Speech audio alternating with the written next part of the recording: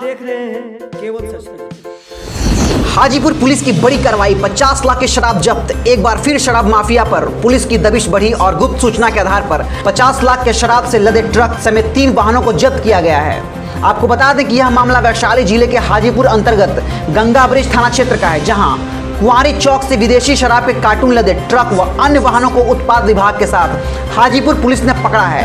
हालाँकि इस छापेमारी के दौरान ट्रक समेत सभी वाहनों के चालक और शराब कारोबारी मौके से फरार हो गए।